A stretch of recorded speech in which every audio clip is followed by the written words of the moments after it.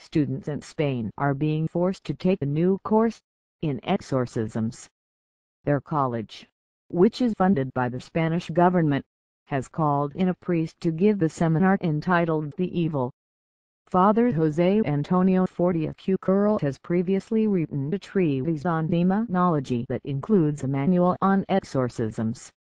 The University College of Barberan and Collan has made it compulsory for its 196 students to attend the conference that covers fields related to the devil, exorcisms and being possessed and held.